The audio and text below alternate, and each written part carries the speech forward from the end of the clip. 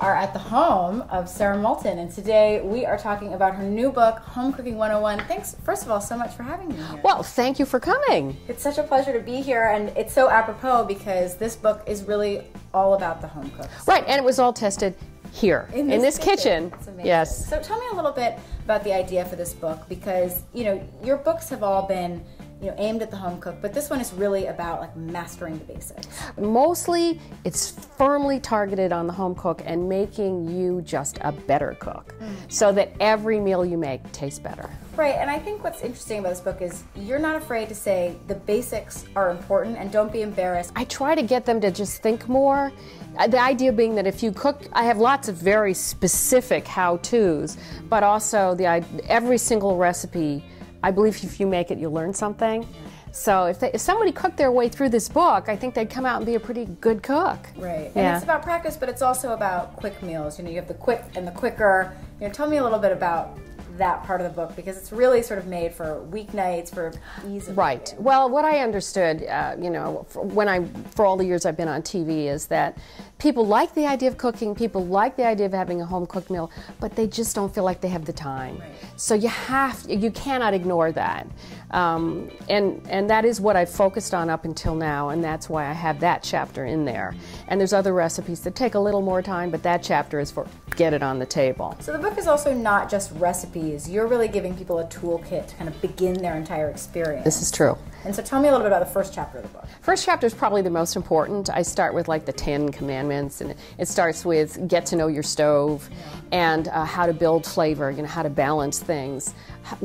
How, to use salt, when to use salt, so key. You end up actually using less salt if you add it at the right time um, how to organize your cooking so that it's so much more streamlined, um, how to attack a recipe, how to save food, because we waste so much food. And what are some of the recipes in this book that you can't live without, that you were testing and you were like, oh, this is a winner? Well, some of them surprised me. Uh, I did a beef stroganoff burger, which started out differently, but then just kept evolving, and it's really essence of mushroom.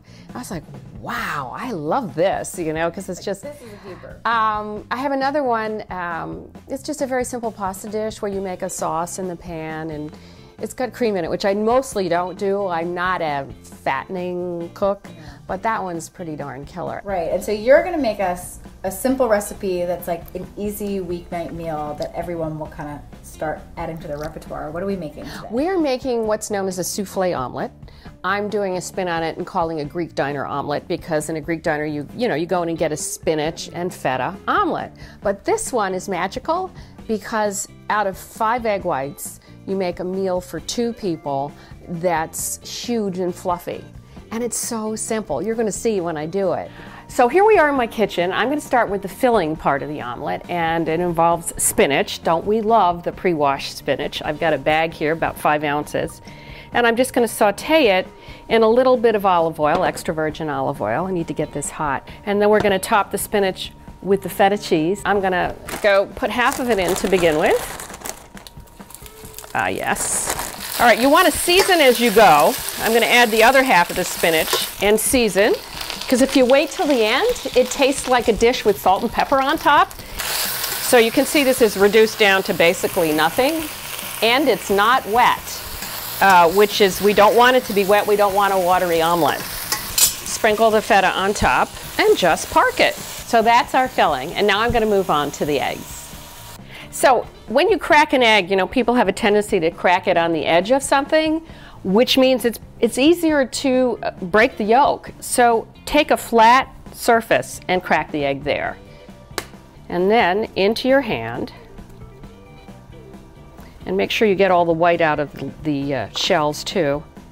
And you will be amazed at how much more of the white you get off of the yolk this way. There we go. Clean whites go into that bowl. What I've gotten here are my three egg yolks and a tablespoon of water, a pinch of salt, and some pepper. Remember, season as you go. And I've beaten them for a couple of minutes. We want the egg yolk. This is our base for our, it's our souffle omelet, so this is the base. And then I'm gonna add my secret ingredient, something I really love with eggs, which is freshly grated lemon rind. And I'm just going to add it to my egg yolks, and then that is the base. So now we're going to beat the whites, and we're going to start sort of slow.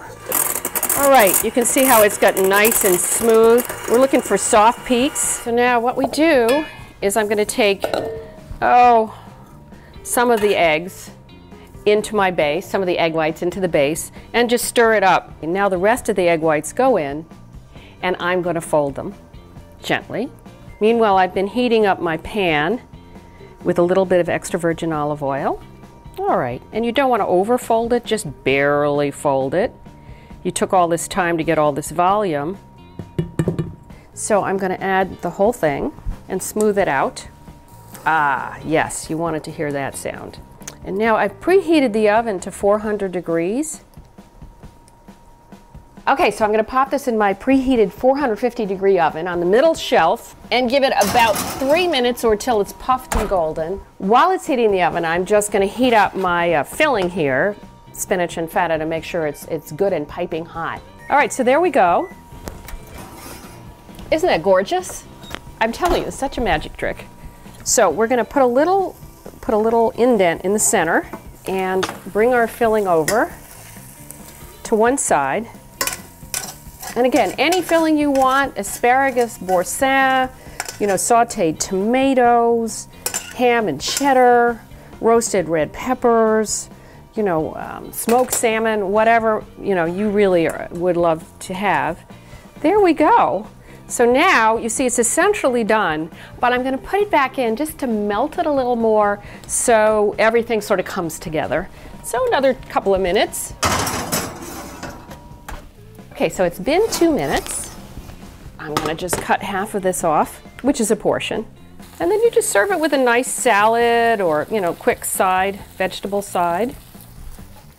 And then I'm just going to uh, garnish it with some dill. You could actually chop the dill, which would make a more meaningful flavor. So here you have it, my Greek diner souffled omelet from my new book, Home Cooking 101.